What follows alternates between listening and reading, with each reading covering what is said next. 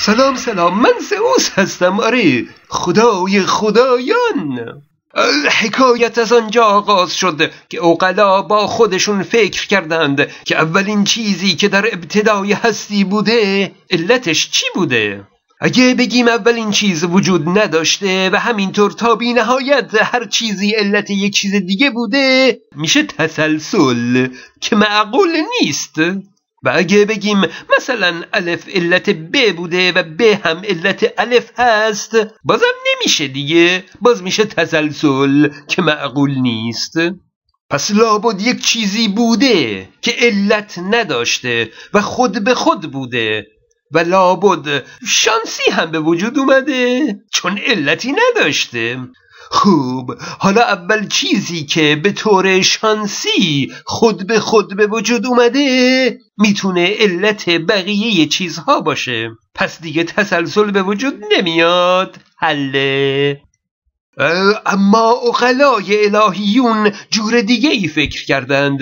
گفتند که ما باید از شر کلمات خود به خودی و شانسی هم خلاص بشیم. گفتند که یک موجودی بوده موجودی به نام خدا که این خدا از بی نهایت قدیم بوده و علت نمی‌خواد.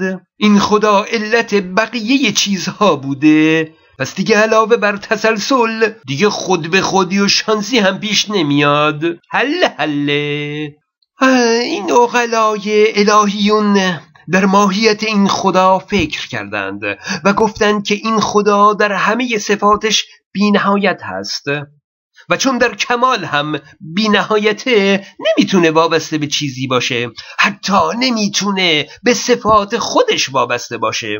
خلاصه یعنی هر صفتی که خدا داره عین وجود خود خداست. یعنی خدا با صفاتش یکیه. یعنی صفات خدا عین ذات خداست. این کلیت داستان فلسفه وجود خدا بود. در اینجا در فلسفه خدا سه نکته کوچولو و مهم وجود داره. در مورد تسلسل خود به خود و شانسی.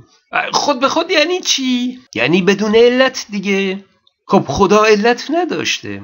به قول فلاسفه قائم به ذات هست. یعنی علتی برای وجود خودش نداشته نیاز به چیزی نداشته. خب این یعنی خود به خود دیگه. گیرم که فرض کنیم از ازل بوده. قبول. از همون ازل خود به خود بوده دیگه. چرا میترسید از این کلمه استفاده کنید؟ خدا خود به خود بوده. پس ما با آوردن کلمه خدا از شر این کلمه خود به خود خلاص نشدیم. نکته کوچولوی دیگه اینه که خدا خالقه و چون خالقه باید خلق کنه. قرار شد صفات خدا عین ذاتش باشه. پس خدایی که خلق کننده نباشه خدا نیست. یعنی نمیشه که خدا در ازل باشه و مخلوقی نداشته باشه. پس مخلوق هم ازلی است این رو فلاسفه اسلامی هم قبول دارند. مثلا شیعه ها میگن روح محمد و علی و فاطمه و حسن و حسین ازلی هستند روایت داریم که وقتی حضرت آدم اون چیزو خورد و گنهکار شد به پیش خدا استغفار کرد طلب بخشش کرد دعا خوند می‌دونید دعای حضرت آدم چی بود؟ یا حمید به حق محمد یا عالی به حق علی یا فاطر به حق فاطمه یا محسن به حق الحسن یا قدیم الاحسان به حق الحسین. این دعای استغفار حضرت آدم بود.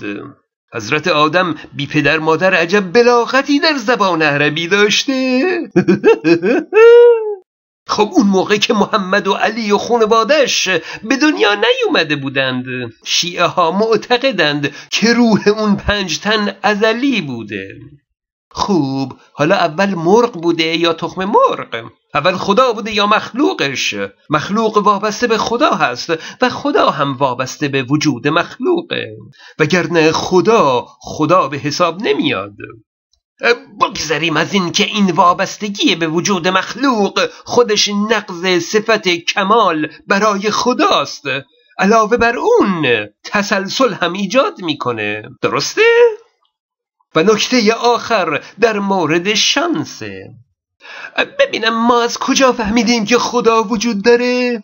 از اینکه فلاسفه گفتند جهان وجود داره شما وجود دارید پس خدا وجود داره از اینکه شما وجود دارید پی می‌بریم که خدا وجود داره. با این حساب واجب الوجود بودن خدا فقط به خاطر این حقیقته که این جهان وجود داره. حالا فرض کنید که این جهان نبود هیچ مخلوقی نبود. اون وقت که دیگه خدا واجب الوجود نبود که هیچ حتی غیر ممکن الوجود بود. چون بدون مخلوق دیگه خدا خدا نیست. پس از اینکه خدا بوده و شما هستید شانس آوردید دیگه. شانس آوردید. می‌تونست خدا نباشه جهان هم نباشه ها؟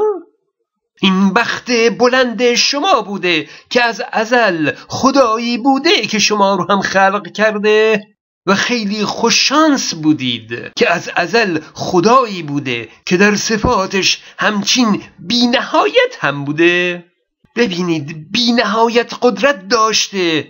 تازه این زمین مصیبت زده رو برای انسان مهیا کرده.